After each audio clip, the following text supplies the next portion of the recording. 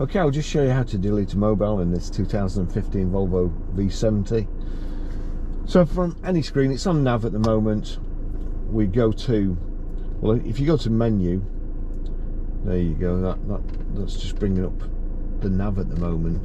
So onto telephone, no phone connected, okay to connect. Doesn't, doesn't really tell you a whole lot there.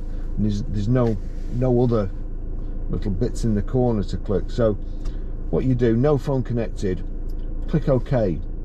Now search for new phone, make car discoverable, all the phones are actually connected. So I want to disconnect mine, so I'll go to Barrie's iPhone, click on OK.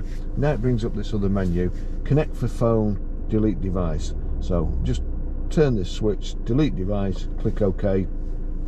Do you want to delete Barrie's iPhone Pro? OK to delete, exit to cancel. That's exit at the bottom of the switch, two position switch, OK, and it's gone that that's it